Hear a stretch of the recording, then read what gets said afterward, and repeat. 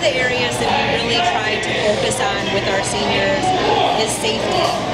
We feel that it's so important to give any education we can on fall prevention and put all sorts of services in place to make sure that the senior that's living in their independent home environment is able to stay there as long as possible with the different services in place and safe and comfortable.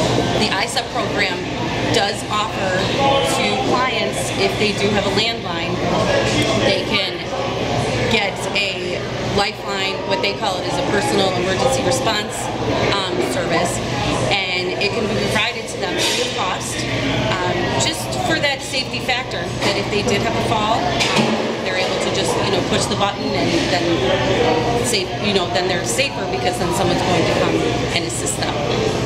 I'd like to reiterate that it does not cost anything at all for me to talk on the phone with someone, do a home visit, meet someone in my office, and there's lots of programs that are free that I can link or refer them to, or some that are not free are very low cost. So I really think that's great that we have these services available throughout Onondaga County clients Now, as far as the EISEP program goes, it's a little different than the neighborhood advisor. Um, home visits and everything are still the same as far as we do go out and see our clients. Um, now, the difference being that for the services, there is what we have called the cost share. And the cost share is based on what you have coming in as income, weighed against what you're paying out in expenses.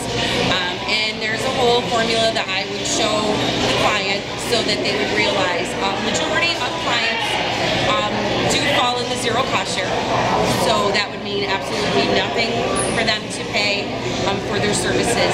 And um, we do the best we can to try and get you to zero or as low as possible. Again, I'm, I'm very proud of both of the case managers. Um, I receive favorable comments from uh, friends and family often, just um, really showing the appreciation that they know that their family members or friends are being taken care of. So having this support in Onondaga County and having PEACE be part of it is a beautiful thing.